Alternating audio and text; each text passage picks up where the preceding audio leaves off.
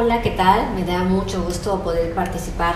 con Igualdad es la señal en esta sección de semana a semana, compartirte cuáles son los trabajos que hemos emprendido desde el órgano autónomo constitucional, el Instituto de la Mujer para el Estado de Morelos.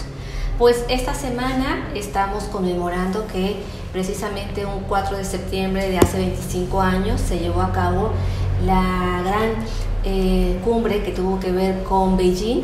y que nos permitió generar de, como movimiento feminista y amplio de mujeres la plataforma de acción de Beijing. Esta fue la cuarta conferencia internacional de la mujer en donde participaron más de 30.000 mujeres de diferentes partes del mundo y salimos con una agenda que nos permite pues ir avanzando hacia el logro de la igualdad y de la vida libre de violencia. Este es un documento político rector para todo lo que son los mecanismos para el adelanto de las mujeres. Así que a todas las mujeres que nos abrieron camino en esta eh, reunión internacional, pues honramos su participación y la mejor manera de honrarlo es refrendando el trabajo y mejorando cada intervención. Además de Beijing, que tú sepas que eh, esta semana conmemoramos 25 años, en el Instituto de la Mujer realizamos más acciones como cuáles, bueno, dimos inicio a una capacitación muy importante en el Banco Estatal de Datos, por sus siglas BANESBIN, que nos permite eh, poder eh, alimentar este banco con expedientes únicos de violencia, todas las dependencias, municipios en donde las mujeres llegan a pedir apoyo ante un caso de violencia de género, pues tenemos la obligación de, pues según la ley de acceso, atenderlas, pero además de atenderlas, llenar este banco estatal porque nos va a permitir generar o reorientar la política pública de prevención y de atención. Y lo importante que quiero destacar de esta participación es que lo empezamos a realizar con el Tribunal Superior de Justicia. Fue muy gratificante poder dar inicio a esta capacitación que irá a diferentes municipios del estado. Estaremos en Xochitepec, en Jutepec, en Cuautla, en Yautepec, en Jonacatepec, en Tetecala, en Jojutla, en Atlacholoaya. En Atlacholoaya como tal no es un municipio, sino que tiene que ver muchísimo con que ahí también se puede impartir la justicia y eh, estuvo el presidente del Tribunal Superior de Justicia con quien se pues expuso la enorme necesidad de mejorar la intervención del Tribunal Superior de Justicia con el derecho de las mujeres a una vida libre de violencia. Entonces ya te platiqué de Beijing, ya te platiqué de esta capacitación de Banesbim. También la semana pasada se realizó el conversatorio de acciones afirmativas en voz de la consultora que pudo desarrollar esta meta que se realizó desde el Fondo de Transversalidad de las Mujeres. Ella es Islol Preciado, ella es una destacada compañera feminista, fundadora del Comité contra los Feminicidios, otra más de las organizaciones que estuvo documentando las diferentes expresiones de la violencia feminicida en Morelos. Esta fue una meta que se desarrolló a través del Fondo de Transversalidad de LIN Mujeres en el 2019 esta meta que ya se terminó, que ya se concluyó, no queremos que sea un documento más que esté en una oficina, queremos que sea un documento vivo y que las ciudadanas de a pie, las activistas, las defensoras, las funcionarias, las, eh, cualquier mujer pueda hacer uso de este, eh, este documento. Este documento reúne una serie de acciones afirmativas que propone esta especialista, entre las que destaca un consejo de seguimiento a la alerta de, la, violencia de género, en específico en Cuernavaca. También nos habla de fortalecer el Banco Estatal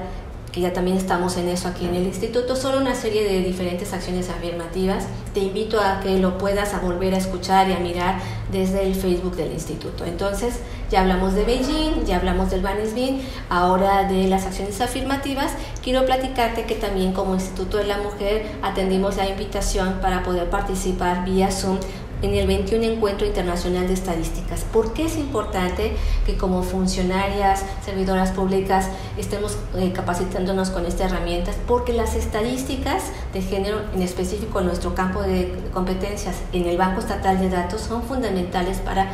orientar y reorientar la política pública. Necesitamos que todo trabajo venga sustentado de diagnóstico, de información diagnóstica que permita fortalecer la mejor implementación de una política pública. Entonces participamos en este 21 encuentro internacional, va a ser ahora vía Zoom, de forma virtual por el momento en el que estamos viviendo a nivel internacional y nacional y la siguiente semana será la siguiente eh, emisión. El tema central es COVID y bueno, estamos como instituto capacitándonos eh, diferentes eh, personas que están en el instituto adquiriendo estas herramientas. Además de eso, durante esta semana se inició el proceso electoral 2020-2021 y destacamos que estaremos trabajando de la mano desde el Observatorio de Participación Política para asegurar que las mujeres puedan participar con su derecho a participar en condiciones de igualdad y de vidas libres de violencia para poder ser candidatas a autoridades electas y después tengan un desempeño a, favor de los derechos de las mujeres y nos permita ir cerrando las brechas de desigualdad. Así que pues celebramos eh, el inicio de este proceso electoral y estaremos muy atentas a que etapa por etapa vaya eh, dando cumplimiento a la igualdad, a la vida libre de violencia y sobre todo a la paridad en todo.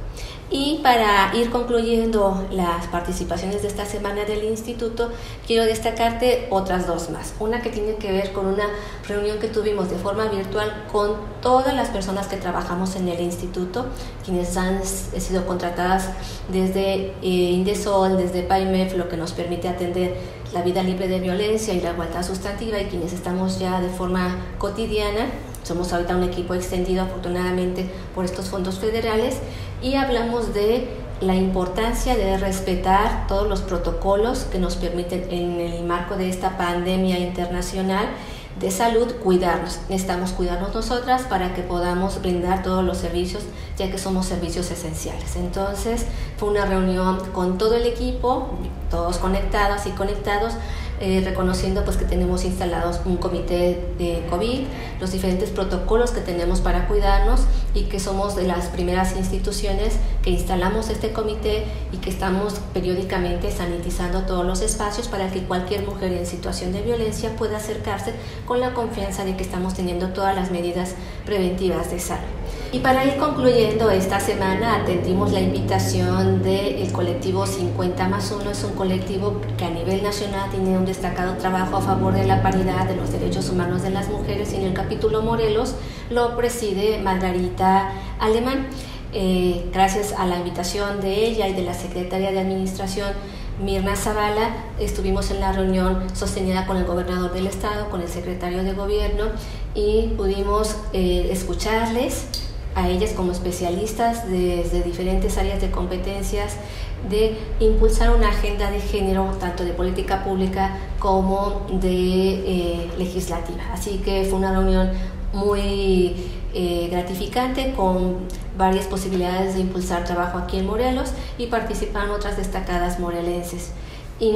para ir cerrando ya mi participación, recordarte que este día jueves estaremos presentando la estrategia integral de inclusión para mujeres sordas en situación de violencia. Esta es una acción muy importante, nos honrará con su participación la presidenta del Instituto Nacional de las Mujeres, Nadine Gassman, también participará la psicóloga Magnolia Telles de eh, la organización civil SEDISH y estará nuestra compañera con la que hicimos todo el trabajo de traducción del lenguaje de señas y te estaremos dando a conocer la estrategia como tal. Eh, una parte es la traducción del plan de seguridad en lenguaje de señas, pero hay otros elementos más muy importantes para hacer una estrategia integral que pues te invito a que nos puedas escuchar y ver este próximo jueves desde el Facebook Live del Instituto de la Mujer. Hasta aquí mi participación y lo más importante de hacerte saber es que semana a semana este Instituto de la Mujer